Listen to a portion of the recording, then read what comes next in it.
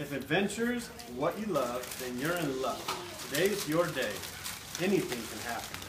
So wish big and dream away. Dare to be the princess that you are inside your heart.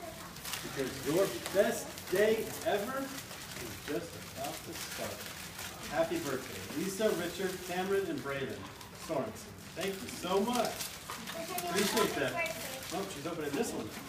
We just read the card. That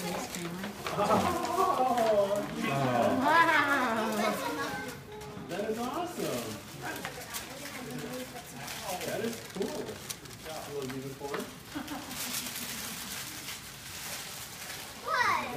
Awesome. Yeah, there's more in there.